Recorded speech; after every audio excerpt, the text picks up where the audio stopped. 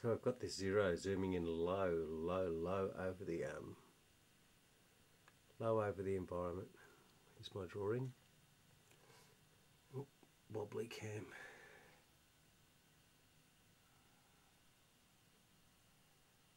Buildings, the rubble, the harbour in the background. There we go. So my first priority was to build up that foreground because that's going to be painted dark. So what I've got here is the first model. It's not well lit. There's the um, plan view of the uh, zero. That's what I did the model with. Should put that up there. Of course, it's a bit bigger now, but um, I think it'll be better to be photographed and reduced in size. Gave me a bit more working space. See that? It's based on the plan. Now here's our model of Darwin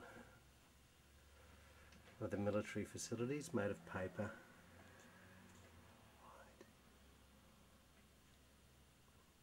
Now if I put that on the edge there, we can get it, we can have a walk around this, just like we were people at the scene. So we've got the sheds, oil drums, um, pieces of cast off corrugated iron. Well here's a zero. I could use this zero for the background. It's about the size of the one that's showing up in the shot too. It's not it isn't the one that's in the shot. But it's going to look something like that. Booming through the back of the town. Low, because they could see the pilot in the cockpit. Okay. So got a flippin' gum tree in it. Gotta have a flippin' gum tree, mate. I've got our flippin' gum tree. Give me a home among the gum trees. Lots of plum trees. Sheep or two and a kangaroo. So there's the foreground like on the drawing. Remember on the drawing up there you can see that foreground, that group of sheds?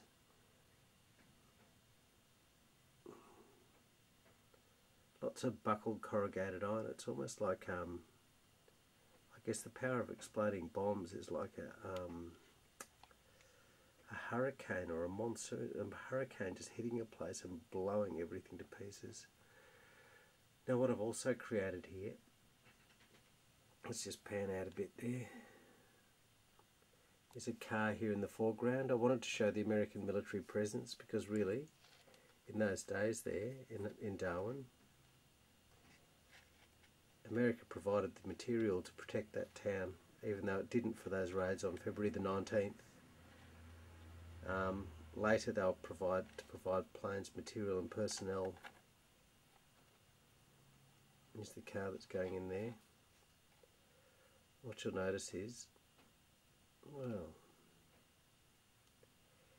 springs made of plastic, see the leaf spring there?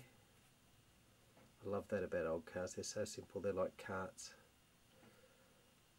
The wheels carved out coarsely out of balsa wood The cabin's been hollowed out only to a short depth. I've put in the acetate for the windows and then I've put the strut in over the top, that side strut. But it's a marvellous little thing, it really looks the part. Okay, there you go. The rear view, that's probably what we're going to see. The back window's still taped off, so in a minute when I paint it, well, um, that's going to be in that crushed shed there. Can't do it. It won't sit there. But it will eventually I'm sure. Okay anyway it's going to sit somewhere there. You get the picture. Uh -huh picture. There you go. So car. Person's eye view is about there. It goes little exhaust pipe. Probably overdid it there but I love the look of that and now what we need is we need a bloke don't we because this is all about people planes. This story history is about people. And this has been my concern with each of these models to make the human present obvious. The human presence obvious. And there he is. It's our little digger on the run. From a fighter plane, the scales aren't absolutely correct. The building's too small, figure's a bit bigger. But what I want to do is I want that sense of him right up in the foreground. I want him to be prominent And in fact, he'll probably get cut off a bit in the shot, but he's working fine. If we look right up close at him, you might notice a few things. He's been made out of wire and silicone kit. That's why you see that thing still sticking out. Oh, can't get it to focus on him. His hat's a piece of tissue. But what you will notice is the wire of the armature is sticking through in all sorts of places. The armature is the frame that goes underneath. That's a, that bit of wire. It looks like he's kicking this great big wire that's the wire that I made his frame up with and if you look at the neck area you can actually see the curve of the loop of wire here that goes around, forms his ribs and goes up into the back of his head. Wish I had some tin snips that I could cut him off but he's a wonderful little figure to be running around the place. Even on camera here he's starting to get this sense of him being, being fair income mate. He's fair income. He's got his strides on, he's got his long shorts on. So he's ready to go fella in his gum tree, what more could you want? And I have another guy in the background and he'll just be looking up or firing a rifle because there was accounts of people um, using the most ludicrous hand weapons against these brutal planes. Car. Okay, so that's the harbour going together. Uh, gee, that photographs well. Using lovely things like watercolour paper, and just watercolour paper, scoring it and bending it. You can see the detail on the buildings. If we just come down here, what you notice is the feeling of corrugated iron. You don't actually want it bent up and down. You just need a sense of the light hitting it. See that? Around those two windows. You get a sense of the light just sort of coming off the undulations. Cracked up shed. That'll look good with little flecks of rust, but as you see in the rough, all that will be painted in deep shadow and the and the lighter highlights will just be brushed out of it. See that? It'll be fuzzy shadows. Okay. Lovely shot of the zero.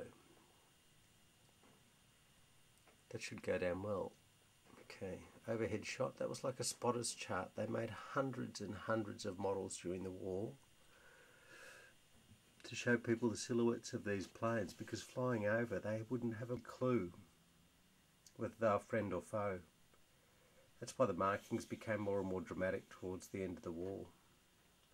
So that people would not shoot down their own planes because tragically it was far too often the case.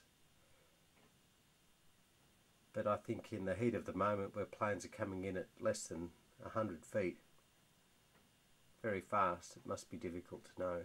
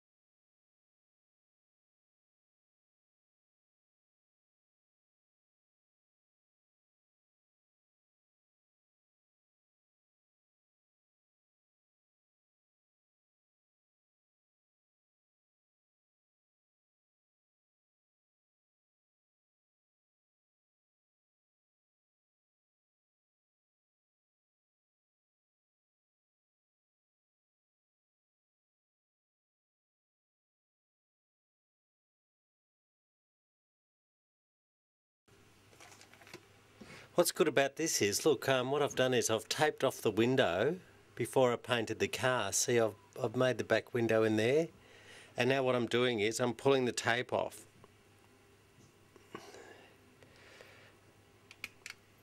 And you can see how that's made an interior to the car. I've got to paint in the window stripe. Where is he? See that? I've got to get the filler off. I put in a whole back panel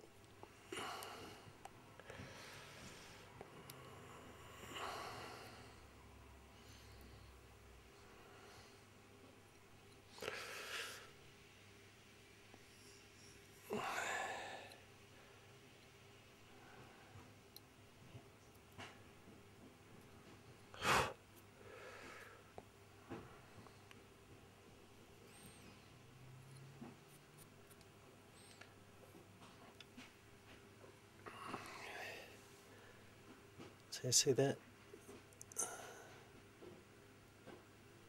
Now I just have to restore that a bit. But that's a lovely view of the back of the car, isn't it? Very good. There's that little car. Finished off the balsa wood pieces. The back window that we'd just masked off.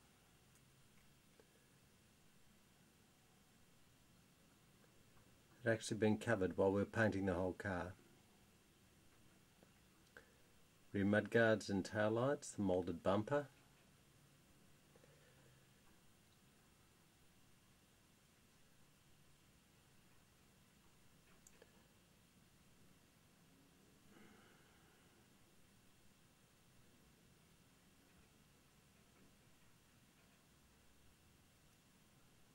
dirt on the wheel arches put the hubcap in. So there we go.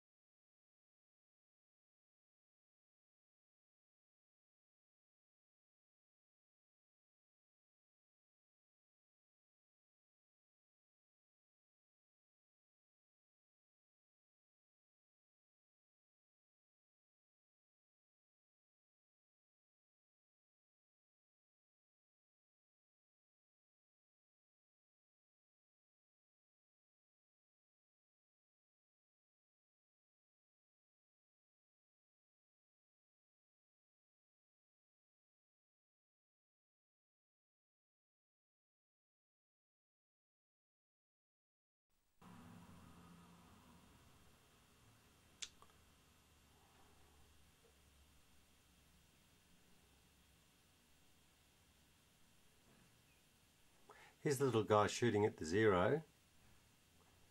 But if you see it, you'll see him from the back, not from the front, because have a look from the front. Can you see it just doesn't work? But from the back, it's quite, it's quite different. So what I've done is I've put that silicone kit on as you can see and I've carved it with a knife as I was working at it. And that's the angle that you'll be seeing him from. From there. There's a flat section there, there's a flat spot. have to fill that in. See that square patch under his arm there? Don't know how that happened. That needs to be filled in. He's got a helmet on. It's just a circle of acetate. If you see underneath, you'll probably notice the shine from the acetate. But he's looking good.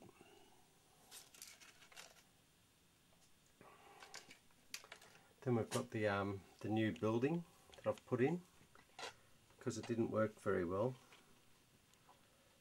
And the trees. Um, the old building was too small. It was the wrong shape. Everything was wrong with it. I've changed the foreground a bit and if you look at the trees they're quite interesting aren't they they've got a leafy sort of texture I'll show you how they were made in a second because I'm going to make one holes in the roof I did a lot of research with Darwin material found the website for the town that's a really good angle good lighting but let's get round the back of the trees what I've used is I've used silicone kit onto acetate because I needed the feeling that you could look around, look through the trees because occasionally that's the character of, see that? Isn't that amazing? It really does look like a tree against the lights. They get this lovely sort of, same here. See that? Those trees are looking good, aren't they? So Oh, that's that's the effect I'm going to have. It's going to be dark.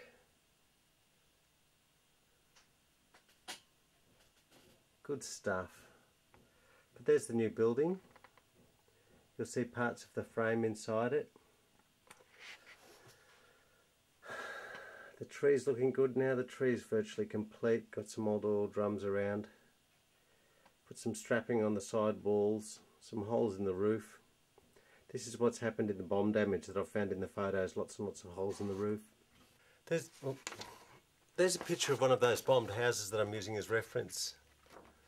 You really get that feeling of that sort of, look at those buildings, they're so dilapidated, lots of framing. I'm using those as inspiration for my illustration. Trees in the background, what I'll try and do is, I'll try and work out how high the section should be. So I'll take the bottle, and I'll work out where I want to put the trees. I want the trees up here in the background. So I take a piece of acetate. This is the acetate. I put it where I want it in the background and I'll draw in the shape of the trees. I'm using my reference of the buildings and pictures of Darwin. And what I do is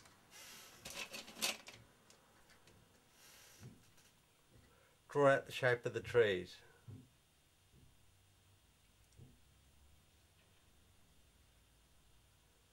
A few high points, a few low points. Okay, put this down. I've got the shapes I need there. Marked out onto the thing. Maybe I can put it on a white piece of paper just to show you.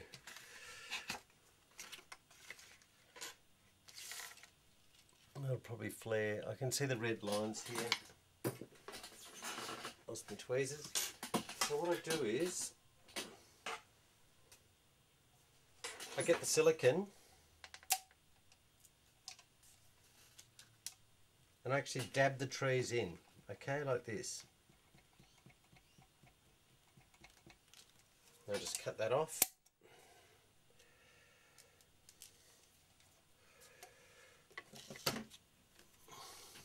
So put some good blobs of silicone on there. Now what I need to do is shape that to a tree type shape. Let's just zoom in there and see if we can get a better look at it. Okay, you can. That's good. Okay, well, just leave it there. I'll put it above the shadow and then I'll shape it. I'm using a variety of different things. Usually I'm just using, it's important that I recycle, I think. So what I'm using is I'm using pieces of balsa. So I'll get the balsa. Put that down.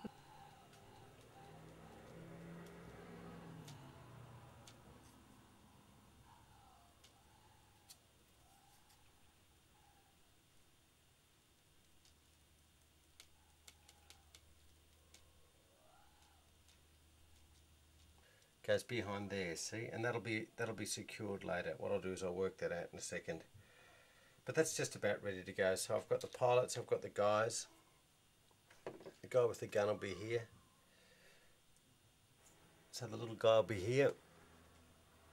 Or there I don't know something like that.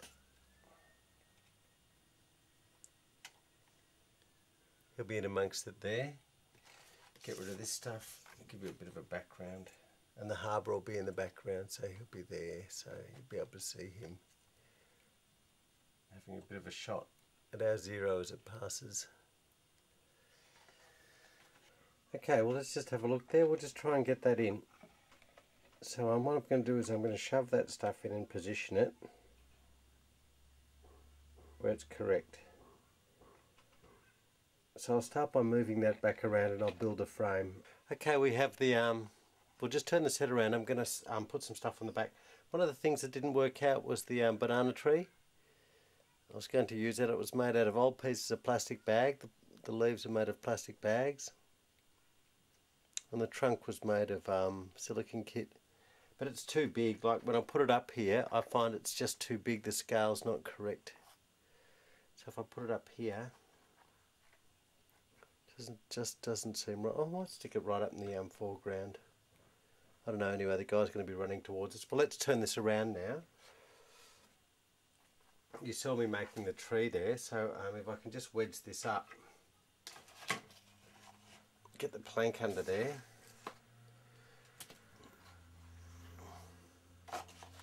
Now what I want to do is I want this back here. This is the tree that's going in the back. I want it about that high. Well you can see what I need to do really. It needs to be flat like that. A bit higher,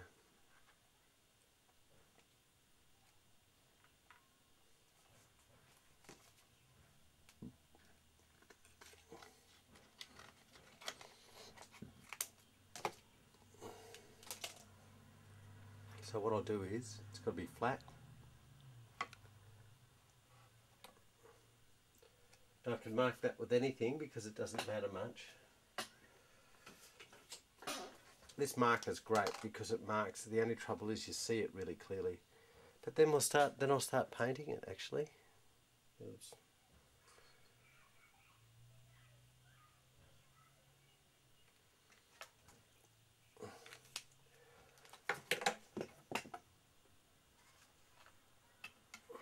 Now score that.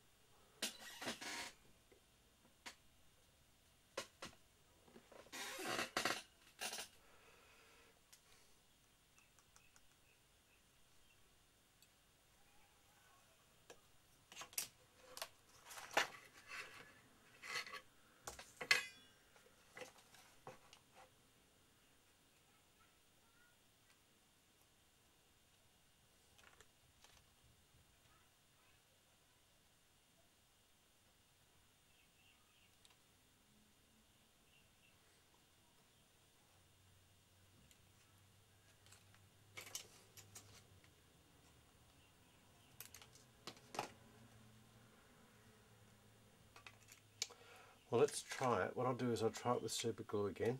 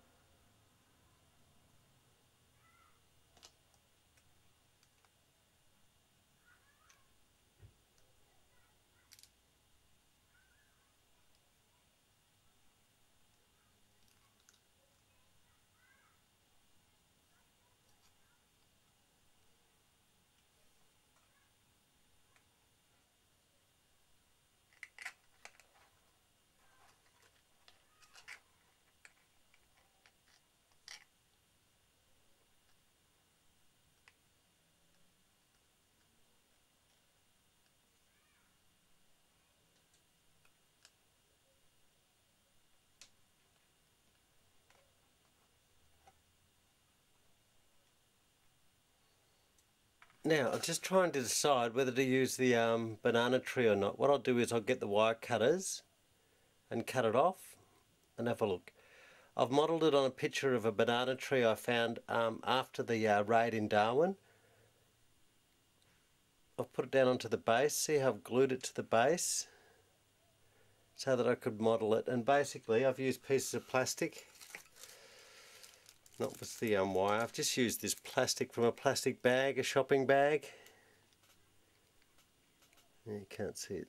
Anyway, plastic from a shopping bag. And um,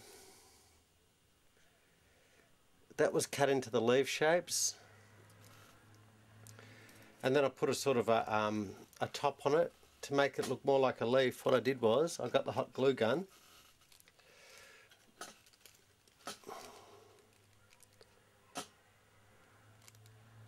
and I put some reinforcing along the top of the bag.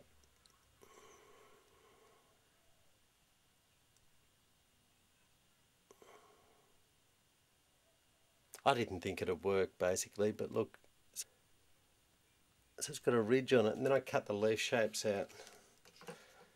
Works well. I was very surprised. Um, so what I do is once I've got this shape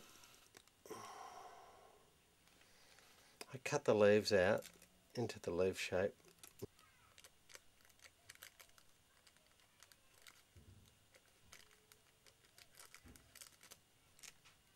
So cut the leaves out.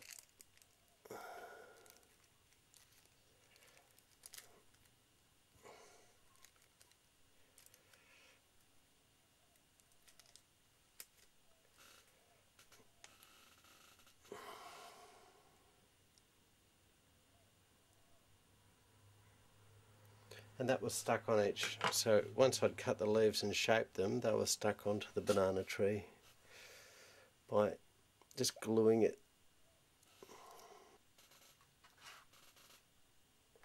I've tried to combine the things I saw around government buildings.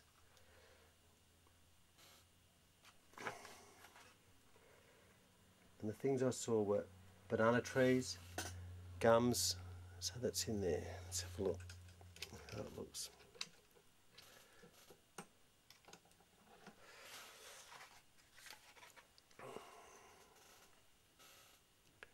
Looks fine. Okay, so the next thing is the running guy goes in there. He goes in near the palm tree, near the banana tree. That's about right. Ah, that's good. So he'll be about there, yeah, near the banana tree. Now the next thing to get right is um, what I have is I have the um, backdrop. So what I need to do is I need the zero in there behind. So what I've done is I've started carving the plane and that's him here. And what I'll be doing is I'll be chopping away. Now I'll put the plane back up here. I've got the plane here. And you can see the plane flying through the street there. And that's what I'll be carving now. So I've got this. I've made it a bit bigger because it suited the plane better. So carving away at that. So obviously I have to carve the nose off.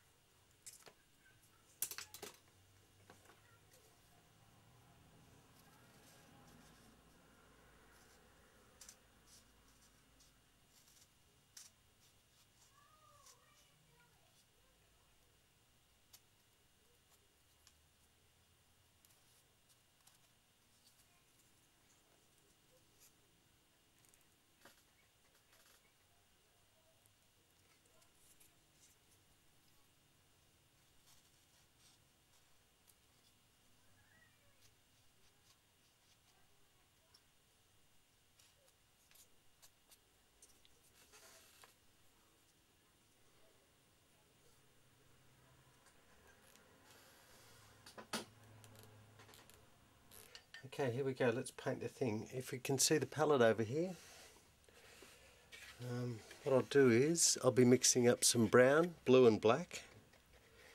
There's the brown, blue and black, and I'm going to coat that whole whole surface in these colours. So it's going to be very dark, and I was very scared to do it, but let's give it a try anyway. Because I spent a long time building that, and now I have to paint it all black pretty well. So here we go, black, pretty well. I'll get some brown, mix some brown through there.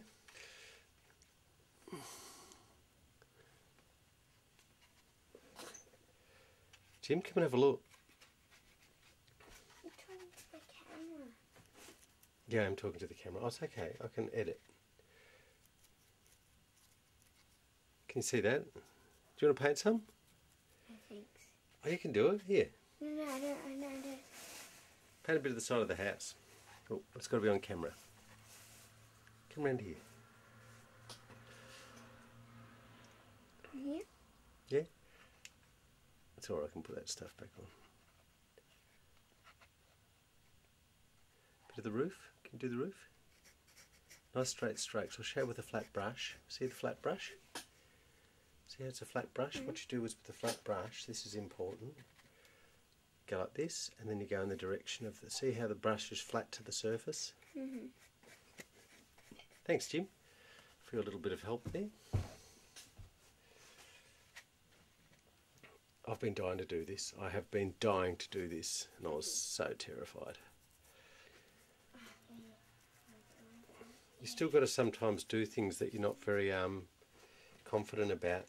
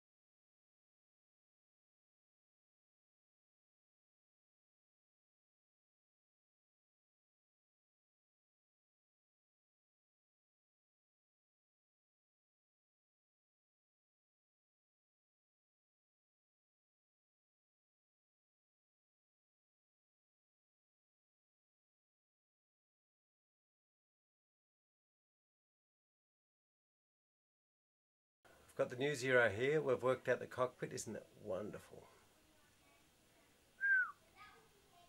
But it only goes this far. Got the drop tank on. You can actually see that the wings are not the correct shape, of course. But it's just meant to look right from about there. Um, carved the cockpit. That was a bit of a challenge.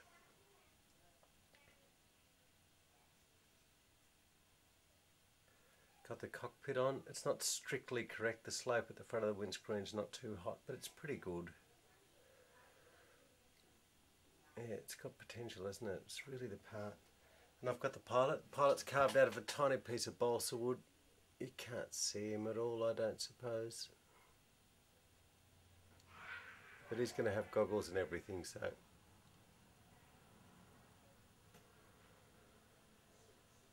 going to be the pilot. I'm just looking for some reference now for a Japanese pilot. But um, of course, the real news was um, yesterday finishing the, um, oh no, not finishing, getting the painting done of the uh, set. Now it is backlit, so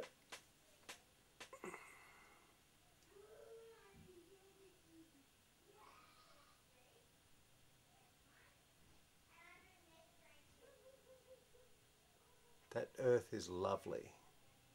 Just right, banana tree.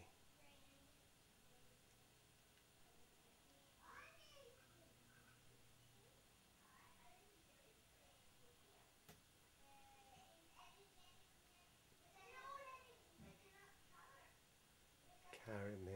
It's pretty good guy shooting. Now what happens of course is now that this is painted the zero I've been building goes in along the back of the buildings so, talk about unsteady cam. So he's going to be, that's what he's going to be firing at.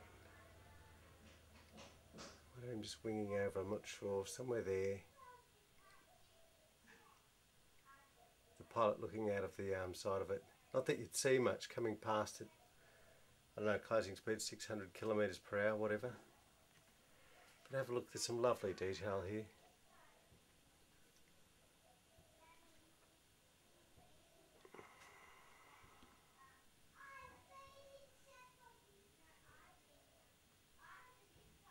Nice detail in the buildings. It's a bit like Monty Python. Ah, the steel looks great. The buildings are so much better now that they're painted. So here's our final zero, the one that's going to be flying behind the buildings.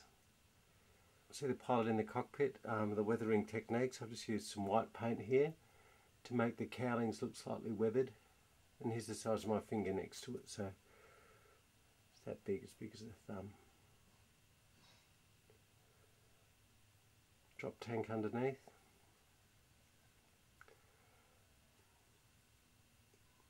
That's um, as good as it gets. The canopy's not very clear for some reason when I've um, when I've glued it in. The canopy's gone hazy, but I'm just going to go with it think it looks a really impressive little piece. Let's take it off there and I'll show you the top of it. Funny stubby wings unpainted. Pilot's face. I love this view here, this is just so neat. Because the wing's not, you know, it's like, but it does look the part. Lots of weathering. I've got some um, oil coming out of the cowlings here, oil stains, and the roundel at the back. I was reading pilots' reports and they were saying how faded the um, the Japanese insignia looked on the planes when they flew through Darwin or flew over Darwin. So I've tried to fade those off a bit. So what I need to do is just secure the zero on the back of the um, set here. So I've got um, the wire. The wire will be, let's have a look. What I'll do is I'll secure the wire onto the back here and the plane will be seen from the front so like that just cut down that piece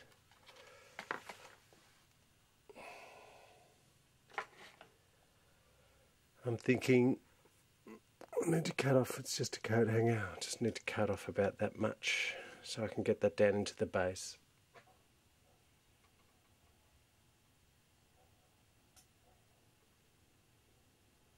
So there's the look. I've just got to paint that figure in the background now, but that's pretty well it. And you can see the bottom of the trees there in the background, need some, um, need some colour brushed into them. The front faces of the buildings might be just a bit too pale and shiny. These roofs, which look very light here, are actually much, are much darker. It's just they're catching a lot of light. The car's really nice. My favourite things. So there you go.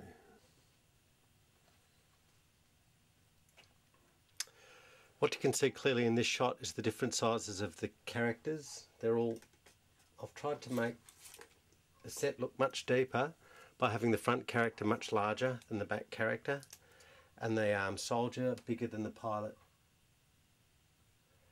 But I love that idea of these two guys eyeballing each other in that mad moment of chaos when that plane is passing by the ground at probably 400 kilometres per hour, probably more. They, they would see barely nothing of each other, and yet people could describe the faces of those pilots as they went over. I don't know how that works that's an extraordinary thing because um, it's we're talking split seconds here. Maybe it's because your senses are just so alert at that moment with something threatening your life. And the two reactions are clear. You know, one person's just sort of out of here, and the other person's just picked up whatever's at hand and had a go. And I'm not sure it has to do with heroism. I'm, I'm curious about this. You know, it is heroic, don't get me wrong, but um, it's that moment. It's this guy blazing away at this plane absolutely uselessly because it's just almost an impossibility to even strike a moving aircraft with any kind of heavy weapon, let alone a rifle. But anyway, it's just a reaction. It's just that moment. How people react. I love that idea anyway. Now a bit of light on the rifle, some light off the hands because he will see his hand.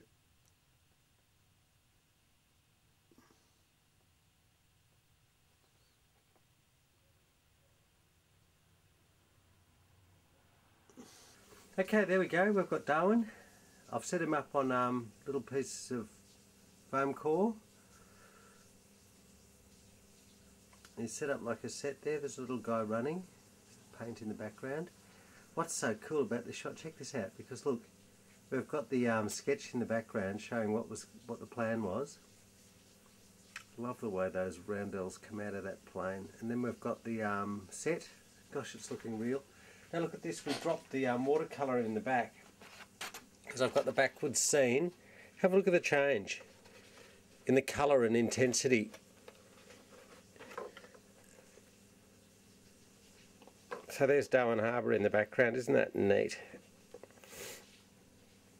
One, two, oh, yeah. God, look at that. Isn't that fantastic? I reckon the horizon's going to be about there.